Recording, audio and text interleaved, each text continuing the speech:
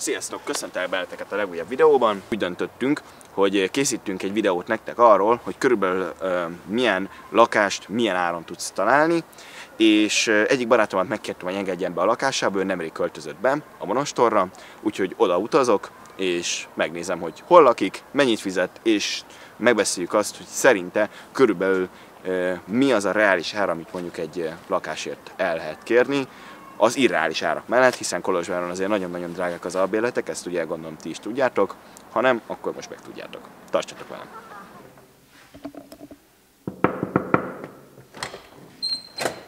Sziasztok! Itt vagyunk egy eh, monostoron fekvő eh, garzon lakásban, ami nagyjából így, ahogy elnéztem, pontos adataim nincsenek, de kb. 30 négyzetméteres egy földszintes lakás, és eh, hát ez az a tágasabbik fajta, ami ben nyugodtan elférhetne akár két ágy, tehát itt nyugodtan két ember is elférhet, hogyha jóban vannak. És van egy egészen nagy erkély, ami fedett, cuccainkat nyugodtan be tudjuk hozni, ahogy ezt itt is láthatjátok. Szóval ez nem az a garzon, ami egy nagy szoba, és akkor a szoba egyik sarka az a ö, konyha, a másik ö, sarka az a fürdőszoba, és akkor valahogy így ö, kell Megy. Szóval, hogy valahogy úgy kell a, dolgokat elhelyezett, hogy mindennek helye legyen, hanem ez egy tágasabb fajta.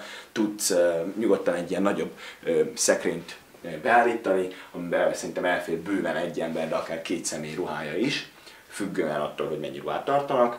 Illetve van egy konyha is, ami ugyan kicsike, de hát az ember nem kívánhat ennél többet, hiszen egy garzonban van. Elfér egy hűtő, egy ilyen kis szekrény, illetve egy kagyló is, meg egy másik ilyen. Tehát, hogy itt, itt gyakorlatilag az ember azért bőven el tud férni, általában egy ember, azért kettő, az nem kimondottan.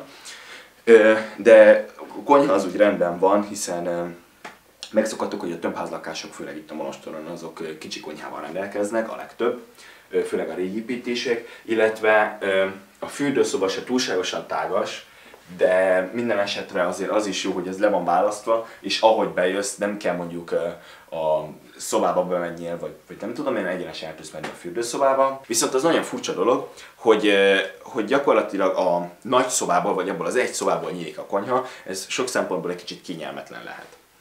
Nagyjából ez a lakás így mindenen együtt körülbelül 850 lejre rúghat fel. Ez ugye tartalmazza a rezsit is, tehát 700 a lakbér nagyjából, ez mondta a barátom, aki itt lakik, illetve emellé még a téli hónapokra számoltunk egy 100 kötője 150 lejes díjat, mert hogy Körülbelül ennyi pénz az, ami, ami fűtésre, meg gondolom a gáz az egy kicsit drágább, mert földszinti lakás, ami elmehet körülbelül nagy rész ezekre a rezsi költségekre, ugye villanyfogyasztás az nem olyan nagy, hogyha nem égeted egyfolytában. Ugyan van mosógép, hála jó Istennek, de mindezzel együtt nem lehet túlságosan nagy az áramfogyasztás. Úgyhogy unblock 151 számoltunk erre, és ennek fényében úgy gondoltuk, hogy körülbelül maximum 1000 leig mehetnek a, az albérletárak, amik reálisak, tehát hogy, hogyha nem egy egész kétszobás lakást akarsz kibérelni, akkor körülbelül ezer lej az a reális összeg, amit egy jó nagy több helységgel rendelkező garzonért tudsz körülbelül fizetni.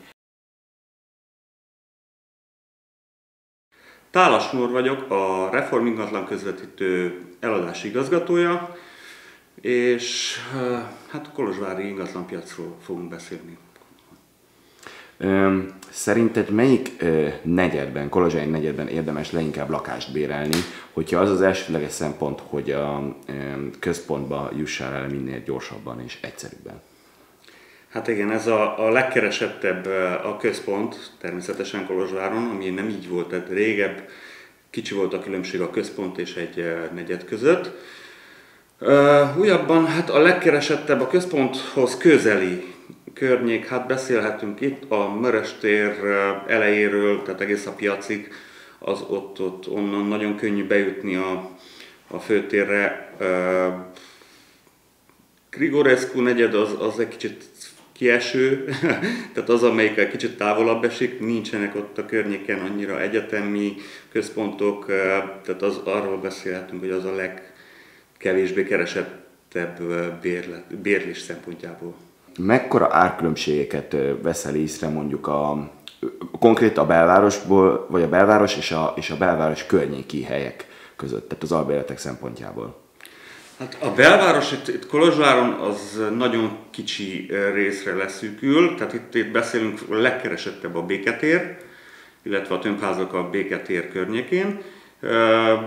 A belváros el, elnyúlik egész a, hát hogy is mondjuk, a Széchenyi térig, illetve az Ábrám Jákot térig, továbbá a, a klinikák utcája uh-huh. közepéig.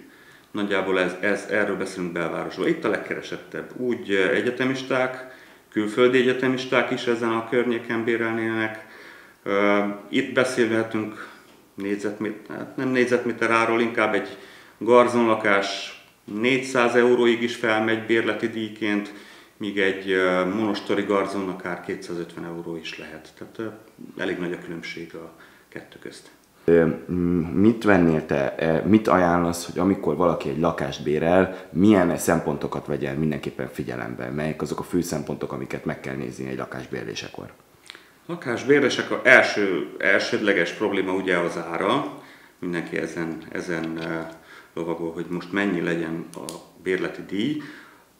Ezen, ha túllépünk és megtaláljuk a megfelelőt, akkor jöhet meg a következő, hát inkább az, az első, következő pont, hogy hol van. Tehát azért a legfontosabb, hogy Monostorról például a Fenesi úton a központig bejutni csúcsidőben lehet, hogy egy órát is eltart autóbusszal vagy autóval lényegtelen.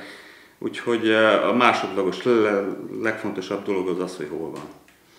Ez, ez. Ezen kívül aztán a többi az már ilyen részletkérdés, hogy most ha lehet, ne legyen utolsó emelet, hogy nyáron ne legyen meleg, vagy bútor, mennyire minőségi bútor, nem minőségi, ezek már részletkérdések, a apróbb részletkérdések. Apró részletkérdések. Te mit tartasz reális uh, albérlet árnak, hogyha mondjuk egy garzonról beszélünk Kolozsváron, és nem egy nagyon elhagyatott helyen, hanem mondjuk a központnak a vonzás körzetében. Egy kicsit tágabb vonzás körzetében, de a vonzás körzetében. Hát egy garzon, mérvadó ugye a garzon, onnan indul minden, a azt mondanám, hogy egy olyan 250-300 euró közötti érték, ez amennyiért ki lehet bérelni egy garzont. Vannak ennél magasabb, illetve ennél alacsonyabb bérlések is, de nagyjából ez a, ez a, ez a piac most per pillanat. 300 euró az, az alatt, illetve 250 euró alatt már elég nehéz kapni valami első osztályú garzont, itt arról van szó, hogy legyen 25 négyzetméter legalább, legyen bebutorozva, legyen, na, tehát ezek, a, ezek a, az árak, itt kb. 250 és 300 euró között a normál piaci ár. Köszönöm szépen, hogy megnéztétek a videót. Tudom, hogy nem volt egy teljes kép, de úgy gondoltam, hogy eléggé reprezentatív lesz arról, ami most itt Kolozsáron az albérletek kapcsán folyik. Jó beköltözés nektek, hogyha még nem tettétek meg, és találkozunk a következő videóban. Sziasztok!